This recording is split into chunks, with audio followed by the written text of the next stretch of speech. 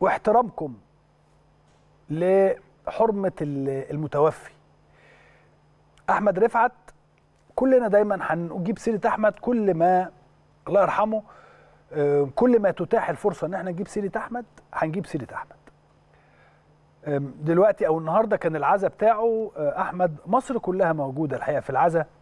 كل الناس عايزة تبقى تقف مع أحمد وتدعي له أو تقف مع أهل أحمد وتدعي لهم وكل حاجة.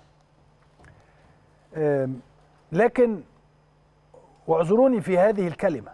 أرجو من الجميع أن كل الناس تسكت. اسكتوا يا جماعة بقى. بجد حرام عليكم الولد الولد الله يعني الله يرحمه. بجد اسكتوا. اسكتوا يا جماعة اللي بيتكلم أنا مش بكلم حد أنا بتكلم بشكل عام. يا جماعة من فضلكم اسكتوا. وخلونا ننتظر إيه اللي هيحصل من اللجنة المشكلة من قبل وزارة الشباب والرياضة؟ وأنا بقول لحضراتكم معلومة. أنا بقول لحضراتكم معلومة. الموضوع مش هيتسكت عليه. مفيش حد هيسكت على وفاة شاب زي ده. ومهما كان المخطئ ومهما كان اسم المخطئ لن يسكت أحد. وصدقوني أنا بقول لحضراتكم معلومة. معلومة من من يعني الناس كلها عايزة تعملها فاللي بقوله لحضراتكم إنه لن يسكت أحد على حق هذا الرجل أو هذا الشاب ال 30 ولا ال 31 سنة اللي مأثر فينا كلنا ومخلينا كلنا كل ما. كل ما الواحد بيبص على الصورة والله أنا ببقى عايز أعيط من كتر ما أنا أحمد ما كانش من المقربين مني يمكن الفترة الأخيرة بس قبل وفاته كنت بكلمه كتير بسبب ظروف المتشابهة يعني بيني وبينه في في العملية. فكنت بتكلم معاه أقول له اعمل واحد اتنين تلاتة وما تضغطش على نفسك في كده وما تعملش هنا كده وما تعملش هنا كده ده اللي كنت بتكلم معاه فيه. ولكن آه فلان غلطان علان غلطان والله هتظهر. صدقوني. وبعدين صدقوني ربنا ما بيسيبش حد آه اتظلم. مهما كانت ظروفه ومهما كانت أموره. صدقوني. ولو بعد حين. فأنا أرجو من الجميع إن هم يا جماعة من فضلكم اسكتوا. سيبوا الراجل يعني الراجل توفى. الراجل بين إيد ربنا.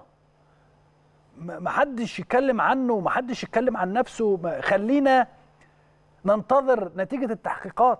ولو أو نتيجة اللجنة المشكلة من قبل وزاره الشباب والرياضة. وخلينا ننتظر إن أحمد يبقى باصص لنا من فوق إن شاء الله من الجنة يعني. وهو على الأقل سعيد بإن سيرته دايما لما بتيجي كلنا بنبقى مبسوطين. كل الناس بتبقى مبسوطة بسيرة هذا الرجل أو هذا الشاب الجميل المحترم الله يرحمه. أتمنى من الجميع من فضل حضراتكم اسكتوا. سيبوا الراجل يتهنى في مماته. راعوا أسرته اللي بيدافع واللي بيهاجم. أنا ما أعرفش ما أعرفش مين. ما بتكلمش على حد بعينه.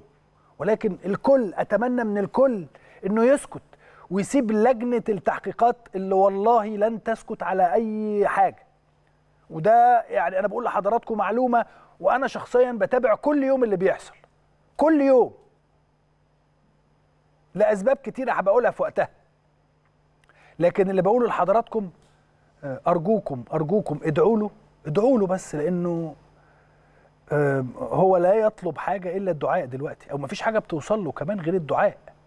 إن ربنا يثبته عند السؤال.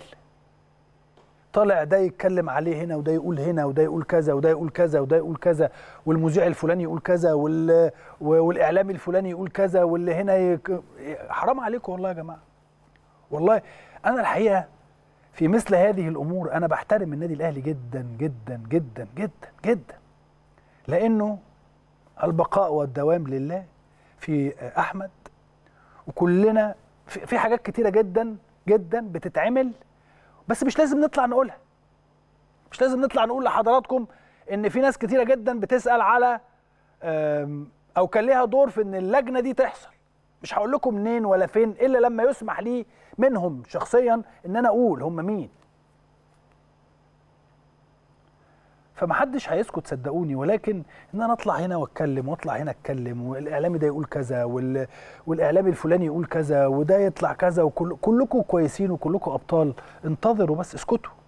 اسكتوا شوية لغاية لما نوصل إن شاء الله إن شاء الله تصل الحقيقة نصل للحقيقة أو اللجنة تصل للحقيقة ويتم إعلانها على الملأ وعلى كل قدام كل الناس وساعتها فقط.